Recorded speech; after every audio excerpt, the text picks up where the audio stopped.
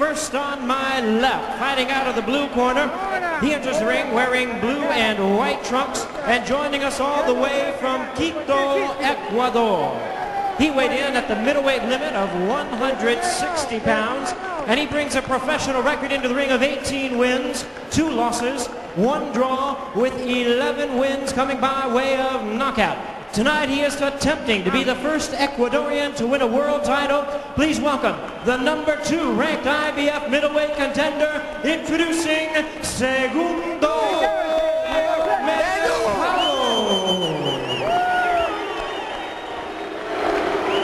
And his opponent across the ring on my right, fighting out of the red corner, wearing black trunks and hailing from the big fight town of Philadelphia, Pennsylvania.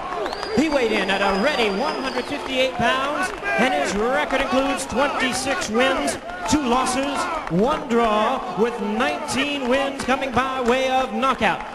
And tonight he is making his third attempt at a world crown. He is ranked the number one middleweight contender by the IBF. Please welcome the fighter known as the Executioner, introducing Bernard Hopkins. Once again, he is the referee in charge. Now to give instructions, Rudy Battle.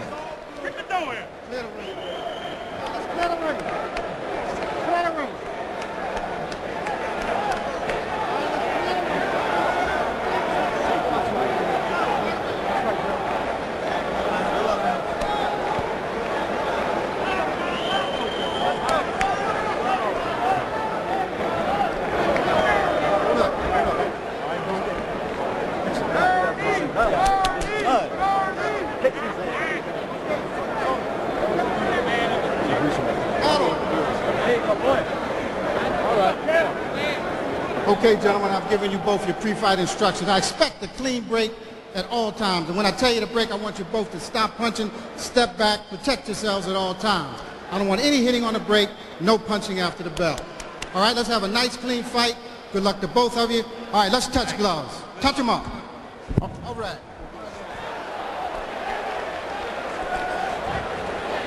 Well, that was a major league stare down. The third man of the ring, Rudy Battle, almost took an uppercut from both. Bernard Hopkins, very trim and fit, well-defined body, solid, skilled fighter, has speed and power. Segundo Mercado, one of 12 children, originally from the tropical beach area of Esmeraldas, Ecuador, home to the descendants of African slaves. He's a hard hitter, an excellent puncher, and a very good buster. And here we go, round one, scheduled for 12 for the IBF Middleweight Championship that is currently vacant. This is the rematch from a very good fight that had so much ebb and flow back in Ecuador. I'll tell you, Steve, the way they touch gloves, you'd think they don't like each other. You get that feeling. Well, the last time, uh, you remember Hopkins came out just blazing and took that first round so clearly that uh, Mercado said if he'd have kept it up, he'd have knocked me out. And he didn't in the second round, of course. That was a wonderful fight. No, this has no. all the makings of a great fight also. I've never heard a fighter admit that, Ferdy. Ne neither have I, Bobby. I think I'd faint if I heard you say, well, he could have knocked me out if he kept going for the next two rounds. I don't remember a fighter ever saying that. Very candid uh, comments from uh, Mercado. Interestingly, in the end, it seemed like Hopkins, who was knocked down twice in the fight, seemed in better shape than Mercado, despite the altitude problem, the thin air. In fact, Hopkins arrived in Ecuador just two days before the fight, allowing him almost no time to acclimate. You know, he made mention of the fact that in the second round he came out boxing a little more because he was worried about that altitude, but there were no effects in the 10th, 11th, and 12th rounds. Well, Mercado's not holding back in this first round. Well, he's going right at it. Little instruction from Rudy Battle. Got a little mad. Said, you guys are starting to fight dirty now. Let's keep it clean. Let's not have a dirty fight tonight. Hopkins in the black trunks, landing a left hook there to the side of Mercado from the tough streets of Philadelphia is Bernard Hopkins. Had an adolescence marred by a series of wrongdoings. He has turned his life around, now living a clean and uh, honest life. Mike uh, devotes much time working with kids in juvenile uh, detention centers, so it's nice to see a guy like Hopkins turn things around through boxing. Oh, well, yes, I've been very familiar with um, Mr. Hopkins for a few years, and he's always been a stand-up gentleman, and I, I commend him on all his accomplishments. Besides being a great fighter, he's also a great individual. Talking about Bernard Hopkins, who It's hard to believe looking to become the first middleweight champion from the boxing-rich city of uh, Philadelphia. He's certainly not having his way like he did in Quito. He's, he's met a completely different Segundo here. Segundo is fighting back and taking some of this round with his sharp counterpunches. Segundo's fighting a better defensive fight. He's covering himself up. He's watching blocking punches much better. He's effectively countering Hopkins right now. Hopkins said by not winning in Ecuador, it may have saved his life. The pressure on uh, Mercado was just enormous. The whole country depending on him. And here, as he put it, nobody really knows him, so he's a lot looser. Well, hit on the back of the head just then, and that's the kind of thing we've been trying to stop. We've seen so much of it in the last three or four fights we've had, and the referee popped right in there and said, that's on the back of the head. Don't do that again. Got to, got to stay on top of that. Final seconds of round one for the vacant IBF middleweight championship. I bow, bow. Nice one.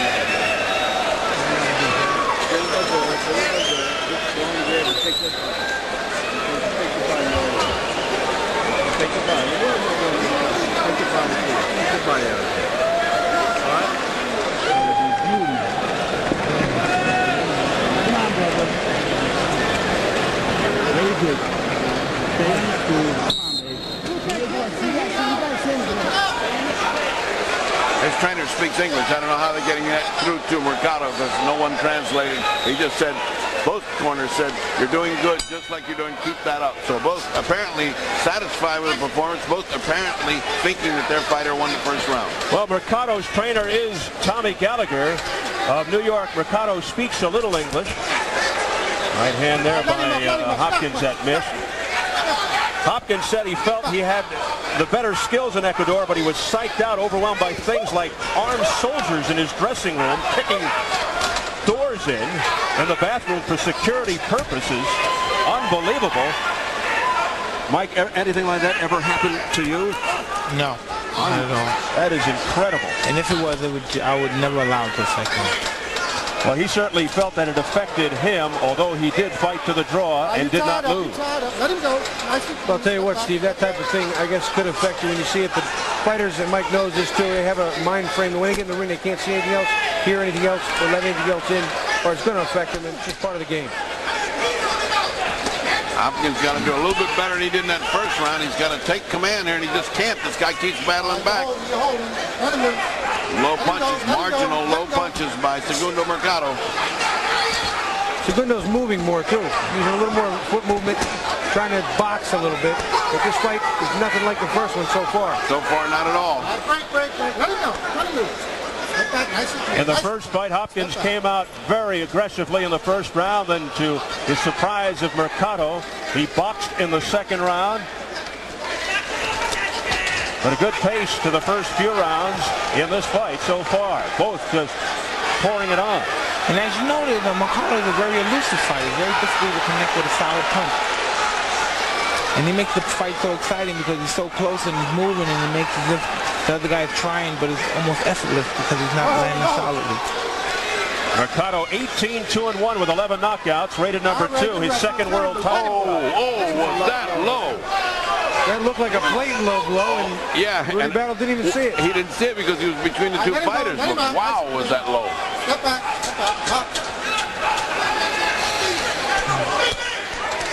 Wild miss there by Hopkins.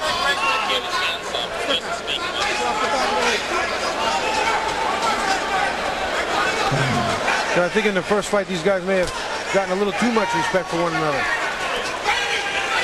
Yeah, they're 30 fighting. seconds left. Um, these guys, I believe, are too familiar with one another. It's, not, it's as if they're not as, putting out as much effort as in the first fight. Uh, it's almost as if they hurt each other enough in the first fight. They got too much respect for each other, Mike, and they- they're not brawling like they did in that first fight. But then again, the fight is early. Yeah, it just started. The last fight back December the 17th in Ecuador. A majority draw. an exchange of punches here in the last. Uh, all right, it's over.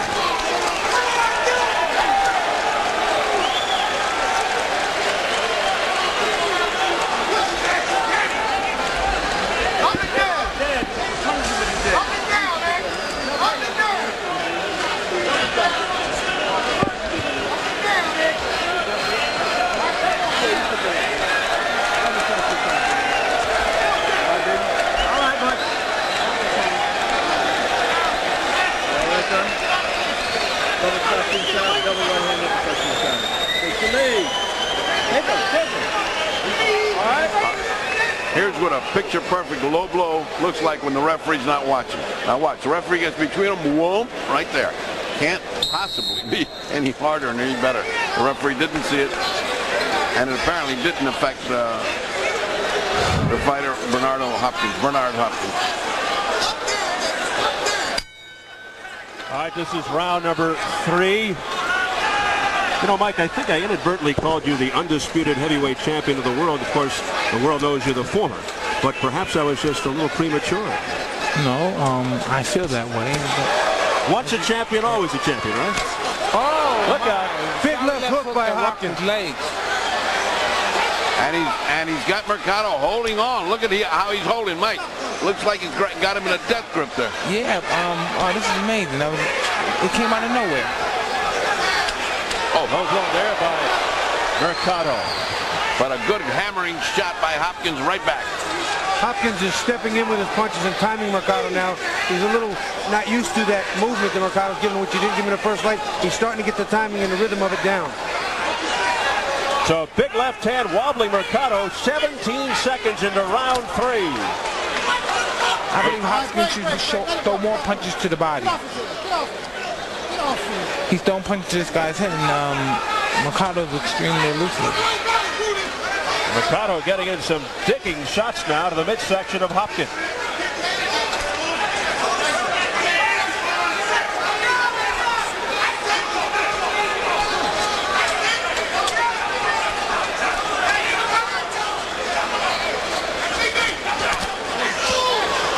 So you see Hopkins turning that right hand in. He's got bad intentions on this punch. The hook too. He's turning his Oh, punches it's over big. warm up. All right, break, break, break. Action's Let him go. starting to warm up here, Bobby. Get off. Oh, he went down from a. He, he just kneeled down. He'd been hit twice and uh, uh, low, but I guess it's nothing. Nothing. That was interesting. Hopkins went down to 1-8. Now he pours in again. Left hooks to the head of Mercado. And another bad left low blow by Mercado. But Mercado looks like he's hurt. Mercado's legs are not under him, Mike. He's in trouble. Not at all. When you acting, you could have stepped right in with the right hand. Mercado is dazed as Hopkins continues to pour it on. Bearing in with shots to the midsection. Mercado comes back with a left hook to the midsection of Hopkins. Great elusive skills from Mercado. A very game Segundo Mercado hanging in there despite that assault by Hopkins.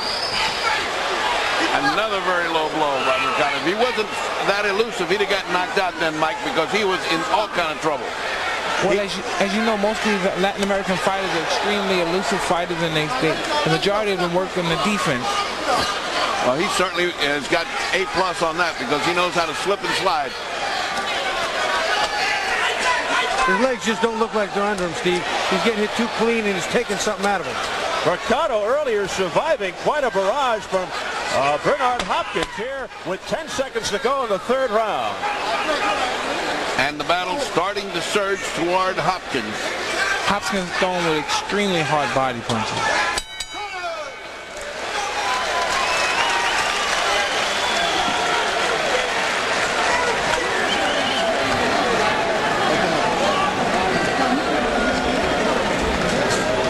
Segundo, segundo, you gotta stop backing them up a little bit. You gotta stop using these yeah. Nice up on that jab, the jab, the jab.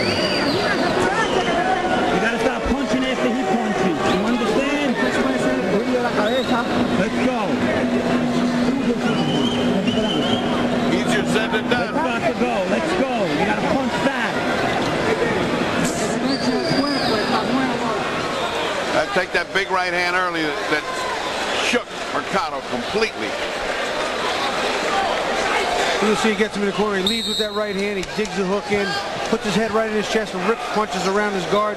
Hopkins means business. Ripping uppercuts on the inside, strong punches from all the angles, getting the job done. Well, he certainly